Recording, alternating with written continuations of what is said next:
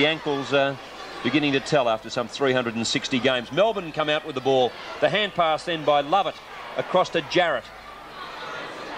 Usually a very good disposer of the ball. Melbourne ball through Wilson.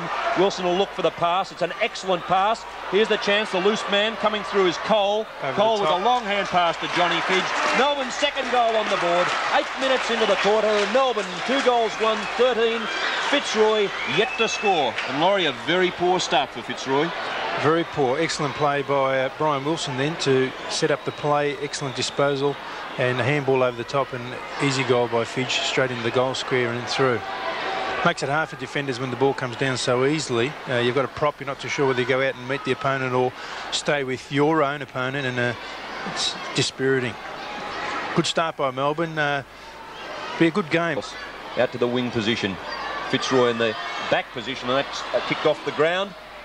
Melbourne into attack. They've been into attack for most of the quarter and are looking quite good. The push going against Little Mork. Be taken by Greg Healy. Healy's drop punt.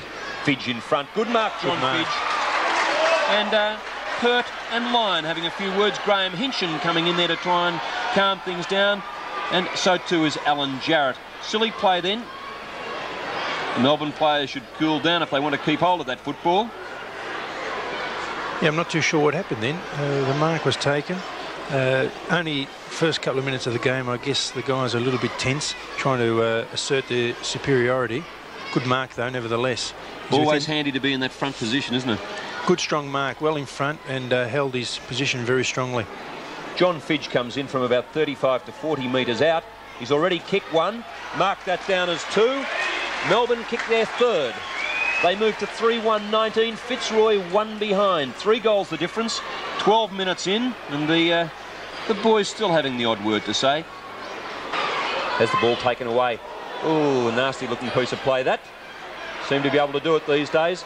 Over to Nigel Cole. He's got pace, the former Geelong player, on the left foot, looking for hit, uh, Fidge, I should say, and uh, Fidge backs up. Well, here's the chance. He lines up, sends it through. That's his third. Melbourne on fire. They're 6-2, 38.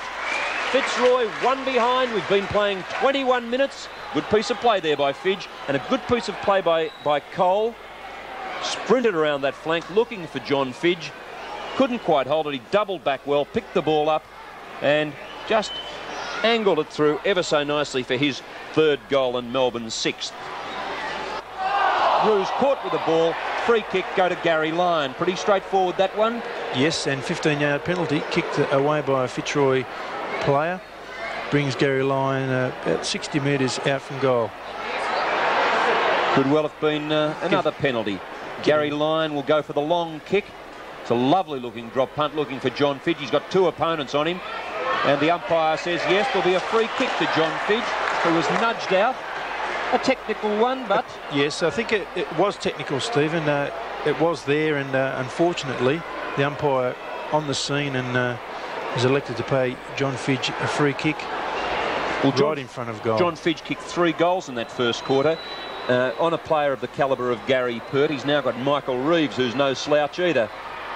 The kick through the middle, Melbourne's eighth goal. They move to 8-6. 54, Fitzroy three goals to 20 on the Pro Football scoreboard here at VFL Park. John Fidge would be pleased with that performance. I think he's just come back from injury. Uh, a strong player. So he's standing his ground and uh, the Fitzroy players there having to try and move him. And uh, as we said, technical free kick. It was there and uh, he's converted. This is only his third game for the season, and uh, he's a raw bone type of player. He's got a good leap, he's got good hands, and uh, he gives them a bit of bite up forward. Yeah. Mitchell gives the ball back to Brian Wilson, former Brownlow medalist. He'll kick long, or will he? He'll go wide. Finds Stephen Newport, who's kicked three goals. Newport looking for Fidge. Lovely pass too. Yes. Picked John Fidge out perfectly. And now John Fidge has the chance to kick his fifth goal. I think Fidge has been the key player to Melbourne today. He's kicked four goals and uh, passed superbly, done some intelligent tap-ons, and now has the chance to kick five goals. He's a matter of 40 metres out. Very deliberate as he lines up. Good looking kick. The Melbourne players are happy. Five goals to John Fidge. Melbourne move into three figures. They're 16 9 105. Fitzroy 9559, And there's the man.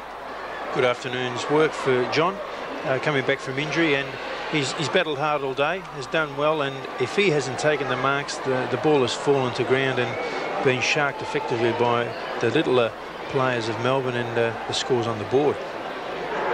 And to kick the goals on a player of the calibre of Gary Pert is no mean feat.